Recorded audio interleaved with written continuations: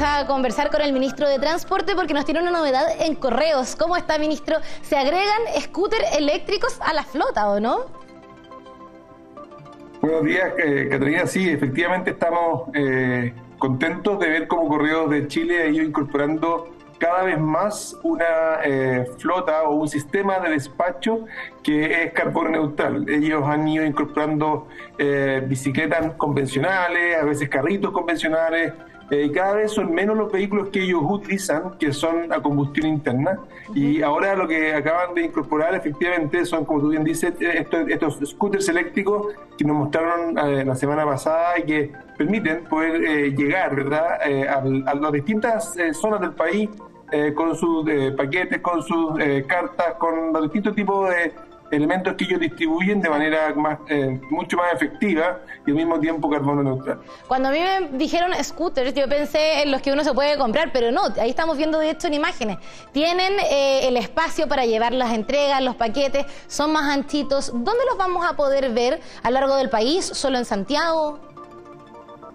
Ellos están eh, con este tipo de vehículo eléctrico en distintas ciudades del país. Eh, por ejemplo, lo que estamos viendo acá, el tipo de vehículo eléctrico lo van a tener en Arica, en Calama, en Iquique, Coquimbo, por supuesto también en Santiago, yendo de norte a sur, eh, Talca, Concepción, Valdivia, Puerto Montt y en Punta Arenas.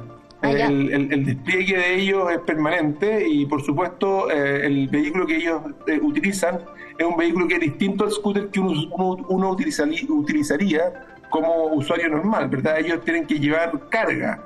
Eh, y por eso es que el scooter viene acompañado, como está viendo en la imagen, la persona de atrás, con un recipiente que le permite llevar hasta aproximadamente eh, como 60 paquetes. Eh, porque hay, paquetes de distintos tamaños, sobre todo cartas, porque mensajería pequeña y ellos lo pueden llevar de, esta forma.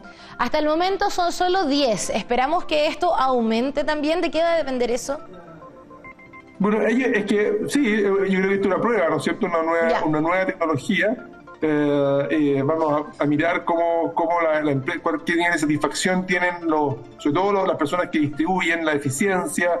Eh, cada vez más la electromovilidad está llegando en el país para como una tecnología probada y que, se, que está para quedarse.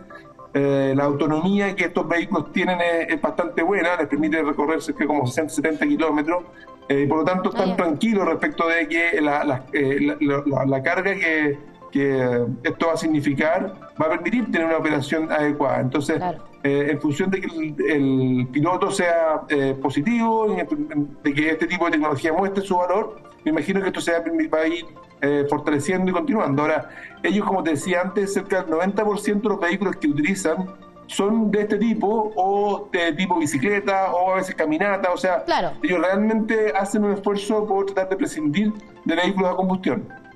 Oiga, ¿y cuánto, a cuánto equivale estos 10 scooters? ¿Cuánto nos ahorramos de huella de carbono, por ejemplo? Y si esto se va a replicar quizá en otros ministerios también. No, no con el correo probablemente tal, pero con ir cambiando un poco la movilidad en las cosas que se puedan.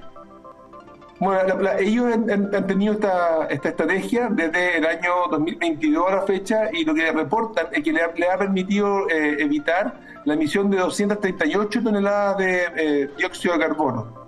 Eh, y eso habla de, la magnitud, ¿verdad?, de eh, el esfuerzo que están realizando, el impacto que tiene una empresa que está realizando permanentemente eh, de vehículos. Y si esos vehículos son a combustión interna, por supuesto que el ahorro es muy importante si uno pasa a este tipo de vehículo que estamos viendo acá, que es más liviano y que permite además una un motor eléctrico que, por supuesto, si es que la energía que carga el, el vehículo es efectivamente eh, carbono neutral, viene de fuente renovable, como mayoritariamente está empezando a pasar en nuestro país, eh, eso tiene un efecto pues, muy positivo en el medio ambiente. Absolutamente. Muchas gracias, ministro. Que esté bien. Gracias por tomar contacto. Y feliz cumpleaños. Que tengan buen día. Muchas gracias. Que esté bien. Chao. Chao, chao.